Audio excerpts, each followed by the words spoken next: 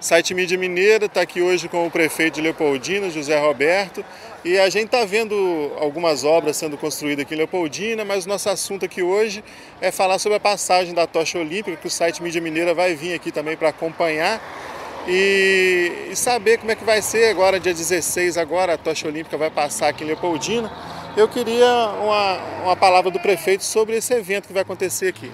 Boa tarde. Bom, boa tarde aos amigos da, da Mídia Mineira. A tocha vai passar em Leopoldina, porque Leopoldina foi escolhida a cidade e de maneira nenhuma nós empregamos algum dinheiro ou compramos para a tocha passar aqui. Ah, não teve pagamento de nada, não? Nenhum, nenhum. Fomos escolhidos espontaneamente lá pelo, pelo, pelo COI para que a tocha passasse aqui em Leopoldina. Ela vai vir de Juiz de Fora, vai passar aqui em Leopoldina. E é o maior evento esportivo do mundo, não podemos negar isso. Então é, é uma marca que ficará para Leopoldina para sempre, porque nós nunca vamos saber quando é que essa tocha vai passar novamente em Leopoldina. Possivelmente nunca mais passará.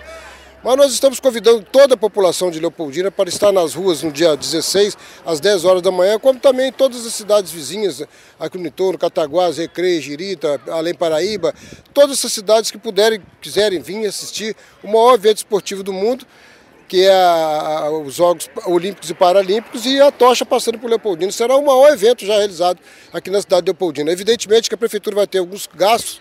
Eu hoje tive com, com a secretária de Cultura e de Esporte e cortei o máximo de, de gastos por causa da situação precária que se encontra tanto o Brasil como o Estado. Então nós fizemos bastantes cortes, mas vamos fazer uma festa sem dúvida nenhuma, à altura do maior evento esportivo do mundo. E a tocha vai passar dentro de Leopoldina ou é só na BR?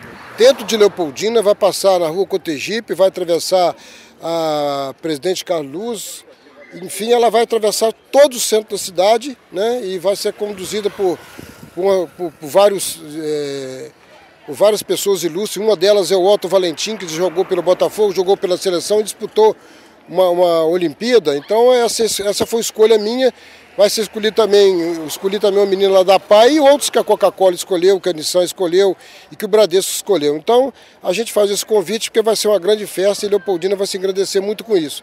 E nós vamos ver se colocamos depois, colo colocamos aqui uma maquete da tocha para representar eternamente que a tocha um dia passou por Leopoldina para que nossos netos, nossos filhos possam ver que Leopoldina foi, fez parte de um grande evento que vai ser mostrado para o mundo inteiro é, a próxima será no Japão, então as imagens de Leopoldina vão trans, é, ultrapassar as fronteiras do mundo indo até o Japão.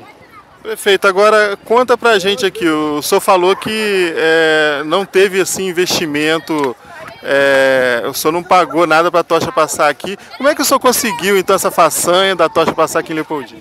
Eu acredito que o trabalho que nós fizemos em Leopoldina durante esse período todo, que Leopoldina hoje está situada entre as, 100, entre as cidades com 100 mil habitantes, ela está em segundo lugar na Zona da Mata, está em oitavo lugar no, em Minas Gerais e 25 do Brasil. Então é uma cidade que chamou a atenção, chamou a atenção da, da, da, da, da mídia, da imprensa é, nacional e internacional. Então Leopoldina, é, nesse período, que nesse, nesse mandato nosso, teve um desenvolvimento muito grande.